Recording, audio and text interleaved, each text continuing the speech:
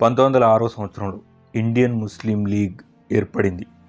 ఈ లీగ్లోని పెద్దలందరూ కలిసి బ్రిటిష్ ప్రభుత్వం దగ్గరికి వెళ్ళి తమ సమస్యలను చెప్పుకున్నారు.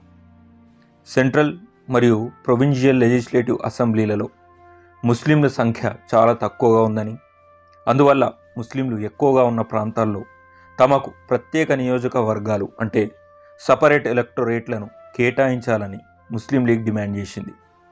ఇది ఎలా పనిచేస్తుందంటే ఫర్ ఎగ్జాంపుల్ ఒక ప్రాంతంలో మొత్తం జనాభా ఒక పది మంది ఉన్నారనుకోండి.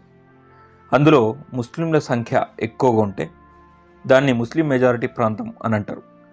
అలాంటి ప్రాంతాల్లో కేవలం ముస్లిం సభ్యుడు మాత్రమే ఎన్నికలకు కాంటెస్ట్ చేస్తాడు. మరియు ఓటు వేసే అధికారం కూడా ఆ ప్రాంతంలోని ముస్లింలకే లభిస్తుంది. వీటినే సపరేట్ ఎలక్టోరేట్ లేదా ప్రత్యేక నియోజకవర్గాలు అని అంటారు. ఈ డిమాండ్ని పంతొమ్మిది వందల తొమ్మిదవ సంవత్సరంలో గవర్నమెంట్ ఆఫ్ ఇండియా యాక్ట్లో పొందుపరిచి ముస్లింలకు ప్రత్యేక నియోజకవర్గాలను కల్పించింది బ్రిటిష్ ప్రభుత్వం. దీన్నే మింటో మార్లే సంస్కరణలు అని కూడా అంటాడు అలా గవర్నమెంట్ ఆఫ్ ఇండియా యాక్ట్ పంతొమ్మిది వందల తొమ్మిది భారతీయ ముస్లింలకు ఒక వరంగా మారింది. ముస్లింలకు ప్రత్యేక నియోజకవర్గాలను ఇస్తే మరి మిగతా మైనార్టీస్ గమనుంటారా? వాళ్ళు కూడా ప్రత్యేక నియోజకవర్గాలు కావాలని డిమాండ్ చేశారు. గవర్నమెంట్ ఆఫ్ ఇండియా యాక్ట్ పంతొమ్మిది వందల పంతొమ్మిదిలో వీళ్ళ డిమాండ్స్ని కూడా ఒప్పుకుంది బ్రిటిష్ ప్రభుత్వం. అలా సిక్కులు క్రిస్టియన్స్ ఆంగ్లో ఇండియన్స్ మరియు యూరోపియన్స్కి కూడా సపరేట్ ఎలక్టోరేట్ని కేటాయించింది బ్రిటిష్ ప్రభుత్వం. గవర్నమెంట్ ఆఫ్ ఇండియా యాక్ట్ పంతొమ్మిది వందల పంతొమ్మిదిని మాంటెగు చెమ్స్ఫోర్డ్ రిఫార్మ్స్ లేదా మాంటెగు చెమ్స్ఫోర్డ్ సంస్కరణలు అని కూడా అంటారు. ఈ యాక్ట్లోని ఇంకో ప్రొవిజన్ ఏంటంటే ఈ యాక్ట్ అమలైన పది సంవత్సరాల తర్వాత అంటే పంతొమ్మిది వందల ఇరవై తొమ్మిది నాటికి ఒక కమిషన్ని నియమించి ఈ యాక్ట్కి సంబంధించిన ఇంపాక్ట్ మరియు ప్రోగ్రెస్ని అధ్యయనం చేయాలని బ్రిటిష్ ప్రభుత్వం నిర్ణయించింది. అనుకున్న సమయం కంటే రెండు సంవత్సరాల ముందే అంటే పంతొమ్మిది వందల ఇరవై ఏడులో సైమన్ అధ్యక్షతన ఒక కమిషన్ని నియమించింది బ్రిటిష్ ప్రభుత్వం. దీన్ని సైమన్ కమిషన్ అని అంటారు. ఈ సైమన్ కమిషన్ని బలహీన వర్గాల నాయకుడైన డాక్టర్ బిఆర్ అంబేద్కర్ గారు కలిసి దళితులకు కూడా ప్రత్యేక ఎలక్టోరేట్ కావాలని డిమాండ్ చేస్తాడు. సైమన్ కమిషన్లో ఒక్క భారతీయ సభ్యుడు కూడా లేని కారణంగా భారతీయ జాతీయ కాంగ్రెస్ మరియు ఇండియన్ ముస్లిం లీగ్లు ఈ కమిషన్ని బహిష్కరిస్తారు. ఇలాంటి సమయంలో బహిష్కరించిన సైమన్ కమిషన్తో డాక్టర్ బిఆర్ అంబేద్కర్ గారు చర్చలు జరపడాన్ని అప్పటి నాయకులు తీవ్రంగా వ్యతిరేకిస్తారు అంతేకాకుండా దాన్ని తప్పుపడతారు మే పంతొమ్మిది వందల ముప్పైన సైమన్ కమిషన్ తన రిపోర్ట్ని సబ్మిట్ చేస్తుంది. ఈ రిపోర్ట్పై చర్చించడానికి బ్రిటిష్ ప్రభుత్వం బ్రిటన్లో భారతీయ ప్రతినిధులతో చర్చించడానికి మూడు రౌండ్ టేబుల్ సమావేశాలను పంతొమ్మిది వందల ముప్పై నుండి పంతొమ్మిది వందల ముప్పై రెండు వరకు నిర్వహిస్తుంది. మొదటి రౌండ్ టేబుల్ సమావేశం నవంబర్ పంతొమ్మిది వందల ముప్పై నుండి జనవరి పంతొమ్మిది వందల ముప్పై ఒకటి వరకు. మరియు రెండో రౌండ్ టేబుల్ సమావేశం సెప్టెంబర్ పంతొమ్మిది వందల ముప్పై ఒకటి నుండి డిసెంబర్ పంతొమ్మిది వందల ముప్పై ఒకటి మధ్య జరిగింది. రెండో రౌండ్ టేబుల్ సమావేశం అయ్యేసరికి అంబేద్కర్తో పాటు ఇతర కమ్యూనిటీస్కి చెందిన భారతీయ ప్రజా ప్రతినిధులు సపరేట్ ఎలక్టొరేట్ డిమాండ్ని బ్రిటిష్ ప్రభుత్వం ముందుంచుతాయి. ఈ ప్రత్యేక నియోజకవర్గాలకు ఏమాత్రం అనుకూలించని గాంధీ గారు దీన్ని వ్యతిరేకిస్తాడు. భారతదేశంలో వెంటనే ఒక బాధ్యతాయుతమైన ప్రభుత్వాన్ని ఏర్పాటు చేయాలని గాంధీ గారు డిమాండ్ చేస్తారు. ఈ సమావేశం చివరిలో ఈ సమావేశానికి సభాధ్యక్షుడు మరియు బ్రిటన్ ప్రధాని అయిన రామ్సే మెక్డొనాల్డ్ రెండు ఇంపార్టెంట్ అనౌన్స్మెంట్స్ని చేస్తాడు. అందులో number one north west frontier province మరియు సింధ్ ప్రాంతాన్ని ముస్లిం మెజారిటీ ప్రాంతాలుగా బ్రిటిష్ ప్రభుత్వం గుర్తించిందని. అంతేకాకుండా నెంబర్ టూ సభలోని సభ్యులు కమ్యూనల్ అవార్డ్స్పై అంటే ప్రత్యేక ఎలక్ట్రోలైట్స్పై ఇంకా ఏకాభిప్రాయానికి రానందువల్ల వెంటనే ఒక మతపరమైన పరిష్కారానికి రావాలని లేకపోతే బ్రిటిష్ ప్రభుత్వం కమ్యూనల్ అవార్డ్ పేరిట ఏకపక్ష నిర్ణయాన్ని తీసుకోవాల్సి వస్తుంది అని రామ్సే మెక్డొనాల్డ్ ప్రకటిస్తాడు. ఈ రెండో రౌండ్ టేబుల్ సమావేశంలో జరిగిన చర్చల తర్వాత గాంధీజీ తీవ్ర నిరాశకు గురై ట్వంటీ ఎయిత్ డిసెంబర్ పంతొమ్మిది వందల ముప్పై ఒకటిన భారతదేశానికి చేరుకుంటాడు. గాంధీజీ శాసన ఉల్లంఘన ఉద్యమాన్ని పునఃప్రారంభించాలని డిసైడ్ అవుతాడు.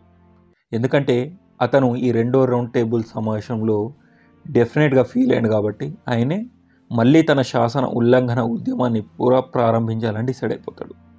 జనవరి ఫోర్త్ పంతొమ్మిది వందల ముప్పై రెండున గాంధీజీని పోలీసులు అరెస్ట్ చేసి పూణేలోని ఎర్రవాడ జైలుకి తరలిస్తారు.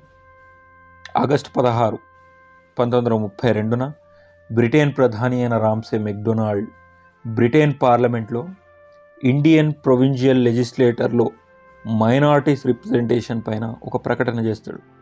దీన్నే కమ్యూనల్ అవార్డ్ అని అంటారు.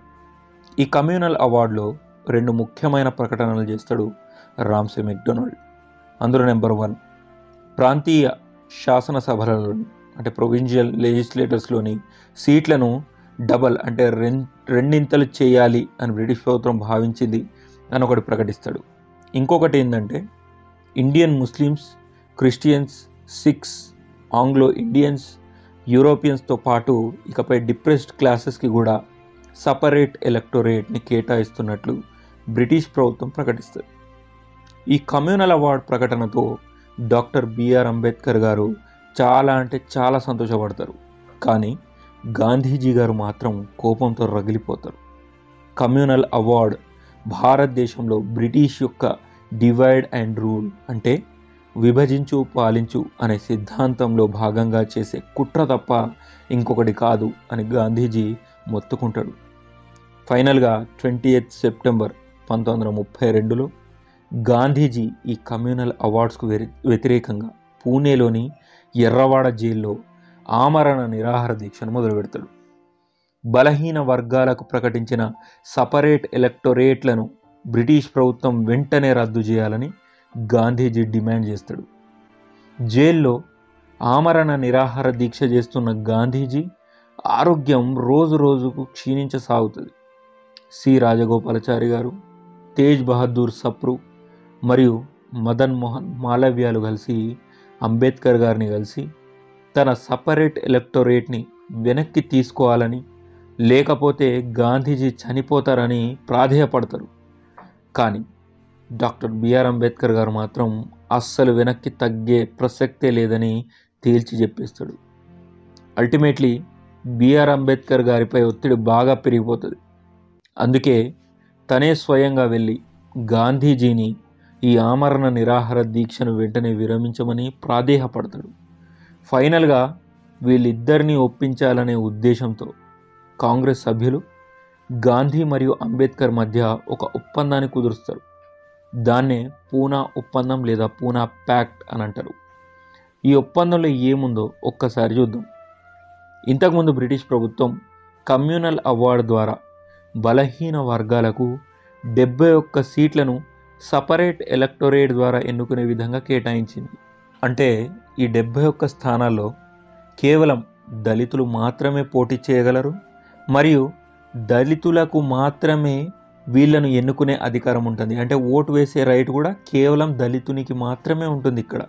అంటే మిగతా కమ్యూనిటీస్కి చెందిన వాళ్ళంతా అక్కడ ఓటు వెయ్యలేరు బలహీన వర్గాలకు సపరేట్ ఎలక్టొరేట్ని గాంధీజీ వ్యతిరేకిస్తున్నాడు కాబట్టి. డాక్టర్ బిఆర్ అంబేద్కర్ గారు సపరేట్ ఎలక్టొరేట్ని వాపస్ తీసుకోవడానికి ఒప్పుకుంటాడు. బట్ ఒక కండిషన్ మీద అదేంటంటే బలహీన వర్గాలకు డెబ్బై ఒకటికి బదులుగా నూట నలభై ఎనిమిది సీట్లను రిజర్వ్డ్ సీట్లుగా ప్రకటించి ఆ స్థానాల్లో సపరేట్ ఎలక్టొరేట్కి బదులుగా జాయింట్ ఎలక్టొరేట్ని కేటాయించాలని అంబేద్కర్ గారు ప్రాధేయపడతారు. అంటే ఈ నూట నలభై ఎనిమిది స్థానాలు బలహీన వర్గాలకు రిజర్వ్ చేయబడతాయి. అంటే ఇక్కడ కేవలం దళితులు మాత్రమే పోటీ చేయగలరు. కానీ వీళ్ళను ఎన్నుకునే అధికారం ఇంతకుముందు కేవలం దళితులకు మాత్రమే ఉండేది. కానీ ఈ జాయింట్ ఎలక్టొరేట్ ప్రకారం ఇప్పుడు ఒక దళితుణ్ణి ఎన్నుకునే అధికారం ప్రతి కమ్యూనిటీకి చెందిన వ్యక్తికి ఉంటుంది irrespective of caste and religion ఎవరైనా ఎన్నుకోవచ్చు. కానీ ఆ సీట్ మాత్రం దళితునికి దళితునికే రిజర్వ్ అయి ఉంటుంది. ఎన్నుకునే అధికారం ఏ కమ్యూనిటీ వ్యక్తికైనా ఉండొచ్చు. ఈ పూనా ఒప్పందం పది సంవత్సరాల వరకు అమలుపరచడానికి ఒప్పుకుంటూ గాంధీ మరియు అంబేద్కర్లు ఒక ఏకాభిప్రాయానికి వస్తారు ఈ ఒప్పందం ప్రకారం మద్రాసులో ముప్పై సీట్లు బాంబే మరియు సింధులో పదిహేను సీట్లు పంజాబ్లో ఎనిమిది సీట్లు బీహార్ మరియు ఒరిస్సాలో పద్దెనిమిది సీట్లు సెంట్రల్ ప్రావిన్స్లో ఇరవై సీట్లు అస్సాంలో ఏడు సీట్లు బెంగాల్లో ముప్పై సీట్లు యునైటెడ్ ప్రావిన్స్లో ఇరవై సీట్లు. మొత్తంగా నూట నలభై ఎనిమిది సీట్లు బలహీన వర్గాలకు మన రిజర్వ్ చేయబడతాయి. On basis of joint electorate. Madras బెంగాల్లలో అత్యధికంగా ముప్పై సీట్లు. అంతేకాకుండా అస్సాంలో అత్యల్పంగా ఏడు సీట్లు బలహీన వర్గాలకు రిజర్వ్ చేయబడి అంతేకాకుండా సెంట్రల్ లెజిస్లేటర్లోని పంతొమ్మిది శాతం సీట్లను కూడా బలహీన వర్గాలకు కేటాయించాలని వాటికి కూడా జాయింట్ ఎలక్టోరేట్ ద్వారా ఎన్నుకోవాలని నిర్ణయం తీసుకున్నారు.